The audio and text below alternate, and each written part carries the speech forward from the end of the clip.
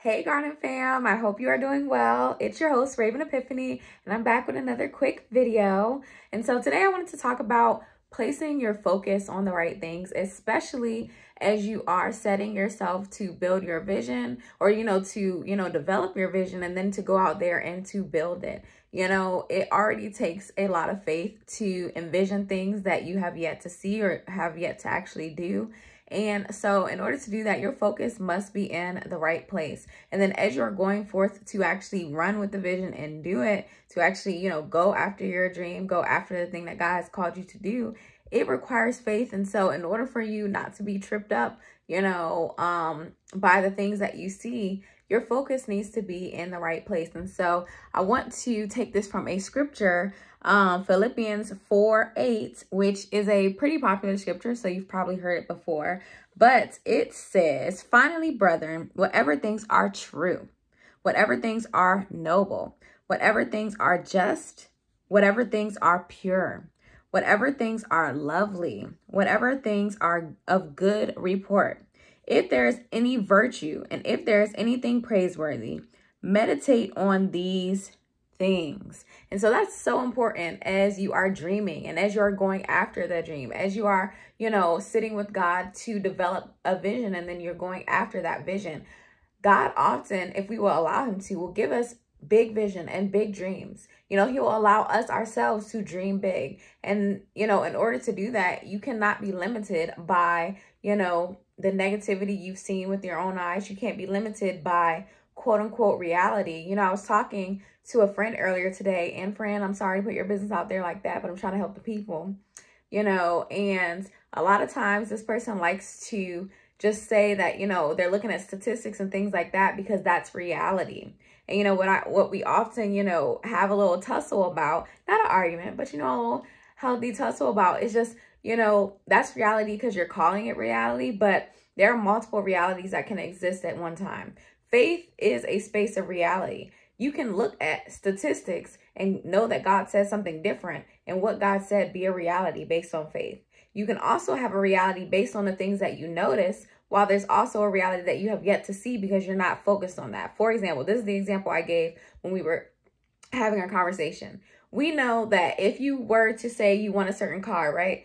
Maybe there has always been the same amount of the same type of car on the road, but all of a sudden you will start to notice so many of that car. So I said a Kia Soul because, you know, that's my car or whatever. So I said, you know, let's say you are going to buy a Kia Soul.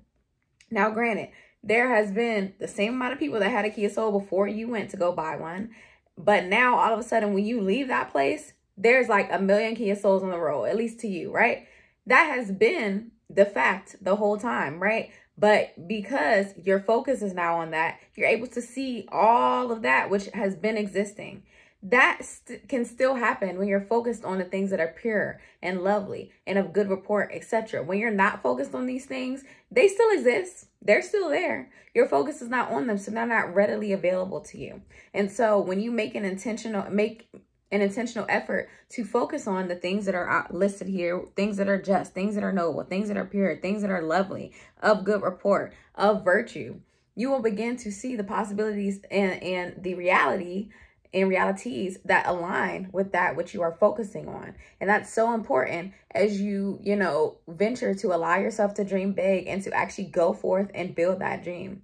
If you, you know, focus on how many other people failed at it, if you focus on what everyone else is doing that seems to tell you that your dream isn't possible, if you focus on what the devil is doing, which a lot of people like to do, if you focus on limitations and lack and other things that are not any of these things, not pure, lovely, noble, etc., you know, it's going to cloud your vision. It's going to limit your ability to envision and it's going to limit you know, it's going to put extra weight on you that holds you back from running as fast towards the vision as you can. And granted, when I say running as fast towards it, obviously we know we move at whatever pace we're meant to, but you guys get what I'm saying.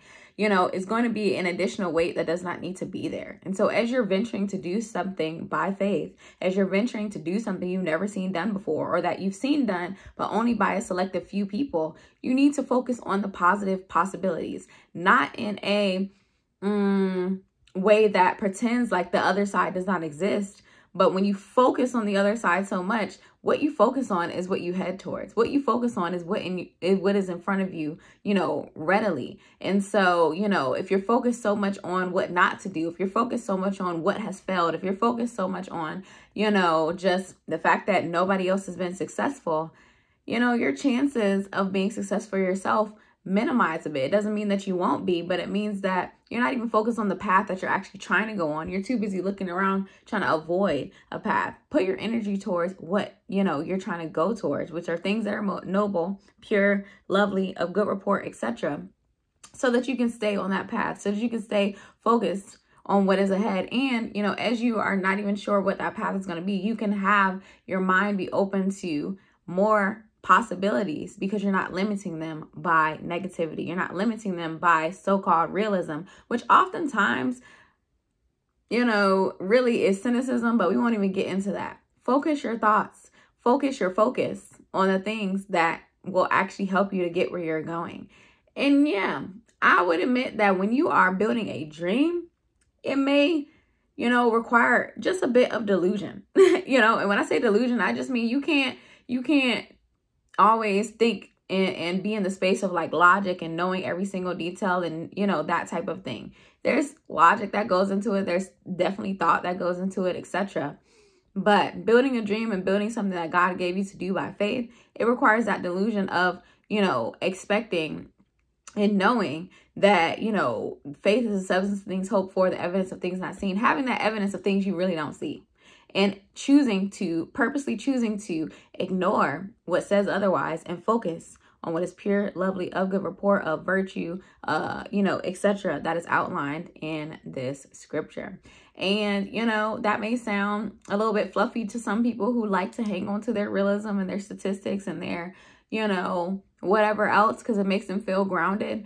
But um, if you want to dream, you need to soar. So, you know, there's a part of you that got to let go of even that part of you that wants to feel grounded in every moment. Dreaming takes you up. Dreaming takes you higher. Going after that dream is going to require you to elevate. So, even that part of you that feels like, you know, I just want to stay grounded in this, you going to stay grounded, all right. And that dream is going to stay floating up there. And so, you can make the choice, but I want to encourage you to focus on those things that actually get you to where you're trying to go, which is again, things that are true. And again, true sometimes, you know, contradicts the facts that you see before you, you know, um, things that are noble, things that are just, things that are pure, things that are lovely, things that are of good report, and that are of virtue and that are praiseworthy. Focus your intention, your thoughts there.